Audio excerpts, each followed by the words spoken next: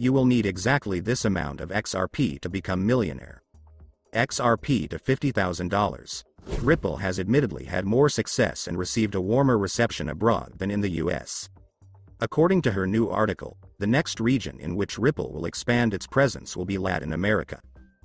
Welcome to the Finance Up channel. If you liked this video, don't forget to like it and subscribe to the channel. Do you think the analysts are right about XRP? Write the answers in the comments. Giving away 500 XRP at the end of the week. One random subscriber will receive XRP coins. Take a look at the instructions in the comments section. All you need to do is write the word XRP, watch the video to the end, to like and subscribe.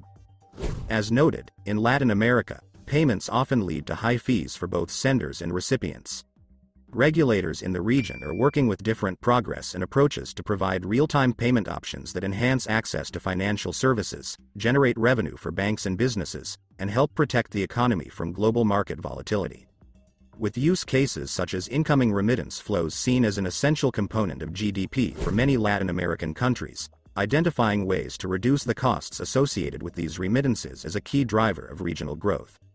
At the same time, central banks are increasingly interested in revising their attitudes towards cryptocurrencies, creating opportunities for the cryptocurrency and blockchain sectors to help create a single LATAM payment system for low cost, faster and more convenient transactions. Of course, not all cryptocurrencies are the same. The use of a digital asset designed specifically for payments will be the key to the introduction of a successful digital payment system capable of processing large volumes of transactions without problems. Trend support. Latin America is heavily dependent on the U.S. dollar. On U.S. remittance flows in the dollar as a reserve currency for economies such as Costa Rica and El Salvador, which use dollars interchangeably with local banknotes. Some Latin American businesses even use US dollars as a source of liquidity, directing payments through American banks to transfer funds to international accounts in the region. This dependence on the US dollar means that the adoption of cryptocurrencies in the States is likely to have a big impact on the adoption of cryptocurrencies in Latin America. There are also various new fintech players in the market who are working to participate in consumer payments. For example, Cryptocurrency exchanges sponsor football clubs throughout the Latin American region, helping to improve public understanding of how to access cryptocurrency. The public adoption and use of cryptocurrencies as an alternative to cash or bank accounts is also gaining popularity in some countries as a simpler and less volatile alternative to the local currency. The use of cryptocurrencies as an alternative to cash is being promoted by the government of El Salvador, where the adoption of bitcoins as legal tender is of great importance. There are also central banks, such as Brazilian and Mexican, that have realized the value and potential of cryptocurrencies and have begun to develop and provide their customers with digital wallets.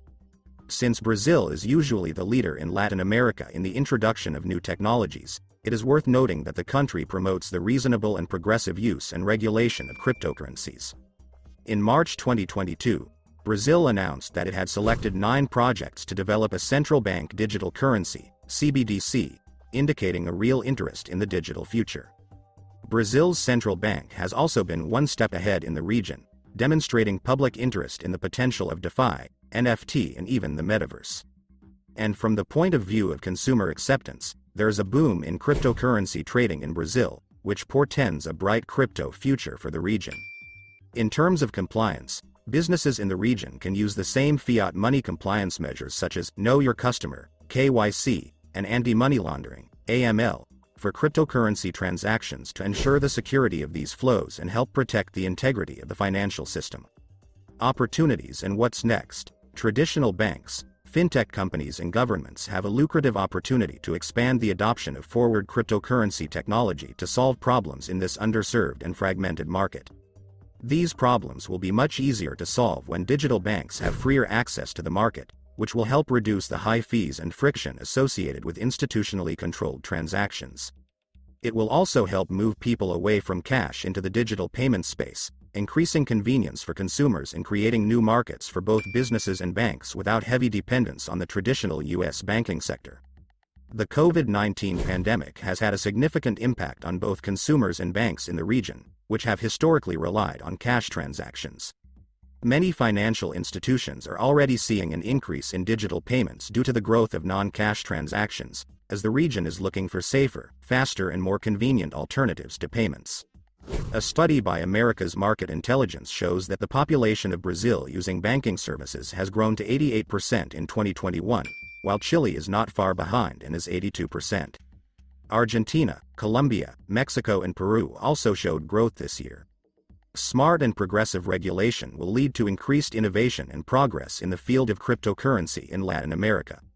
After the regulatory debate taking place in the United States, banks and fintech companies have great opportunities to work with regional regulators to create sound public policy frameworks. Latin America is a diverse region in which both developed and developing countries are penetrating the digital payments landscape to varying degrees. But by finding an opportunity to interact in the region, Latin America can become more financially independent, more financially attractive for external investment and more open from a financial point of view. Etc. Group, a leading European specialized provider of institutional level securities backed by digital assets, announced today the listing of XRP Etc Physical XRP etc. Group, ticker GXRP, on April 22 at Deutsche Börse Xetra, the leading European digital asset exchange. XRP will join a line of institutional level products traded on the exchange, including Bitcoin, Ethereum, Solana, Cardano, Polkadot, Litecoin, Avalanche, Cosmos, Polygon and Uniswap, which are traded on Xetra. The new etc. will be available in euros and US dollars, and will be sold and distributed by HANETF, an independent UCITS ETF provider working with asset management companies. Bradley Duke, founder and co-CEO of Etc. Group, said.